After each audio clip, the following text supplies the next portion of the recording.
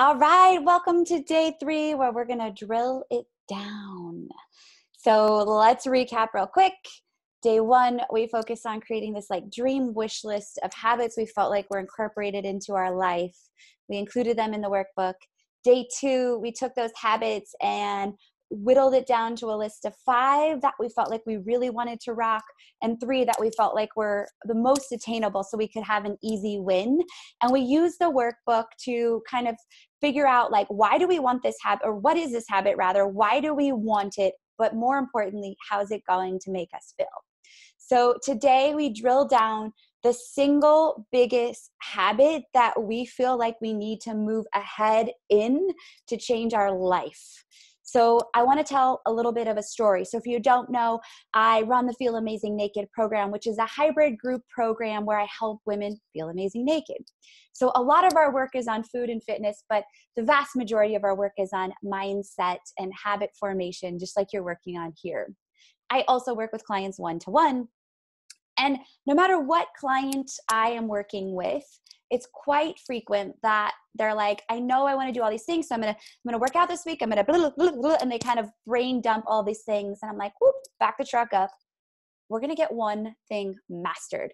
We're gonna focus on inclusion of habits and get really dang good on at one thing. Because as we whittle down and work on getting really good at one thing it's going to reveal the root cause of why we can't hold all the things together. This i always tell the clients like i'm waiting for this moment. I'm waiting for your a plus student status to fade away so the juicy stuff can be revealed the work I do is root cause analysis. We all know what to do on paper, but why can't we maintain consistency? And it's in that moment where I see women start to struggle and life happens that all this stuff really shows me what the root cause has been that's been keeping them stuck. And oftentimes it's mindset, belief work, or just the fact that they don't even know how to make themselves a priority. So maybe those weren't part of your habits, and maybe you're like, oh, shoot, I need to go back. So, regardless, if you feel like you need to go back, pause, go back, redo that habit, and come back to me. But let's keep moving ahead to today's uh, content. So, I'm to bring up the workbook.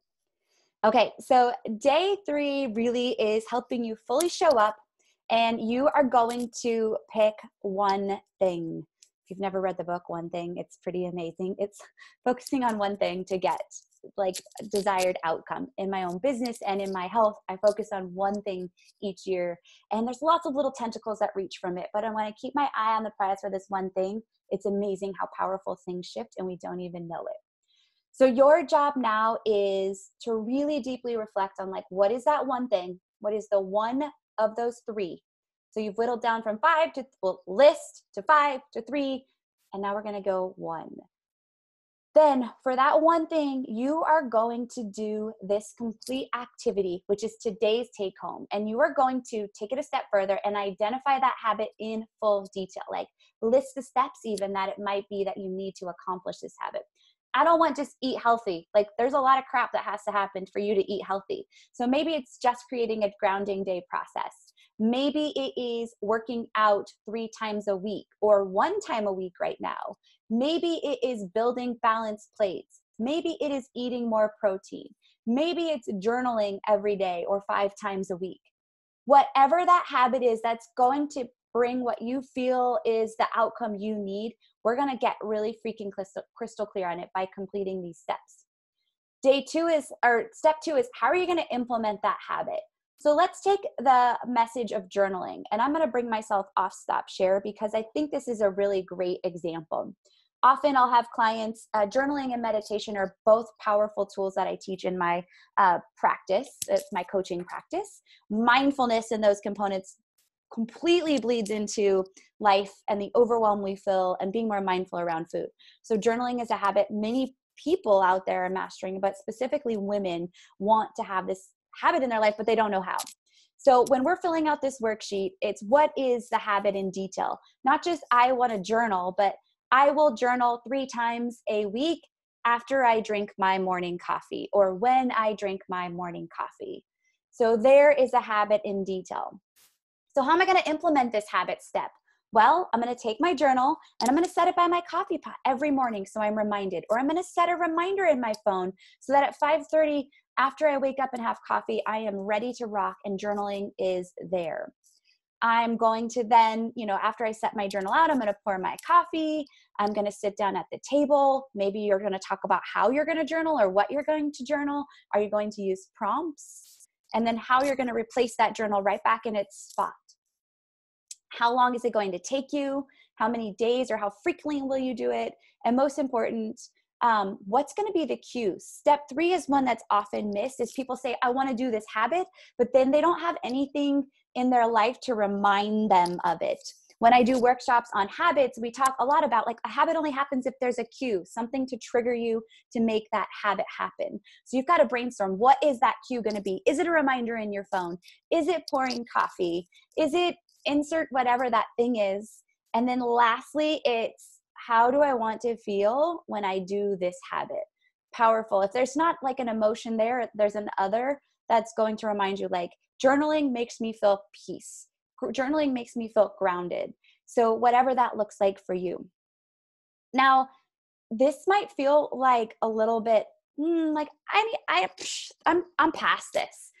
But the answer is no you're not. If you were past this, then you would have mastered this habit. And likely what's happening is you're looking for sexier stuff that's going to take you where you want to go instead of the most simple, basic habit formation pieces that I am including here. The magic is in consistency. The magic is in mastery. And when how we achieve mastery is by repetition. Over and over and over, we do the same thing because we start to see the impact it has on our life. So I really encourage you don't skip these steps. They're there for a reason. And we're going to talk about why you may might want to print this sheet for 12, 12 times so that you have it for every habit that you're going to master in 2020 because I believe in you. And we're going to create that plan so you know what those habits are already ahead on day 5.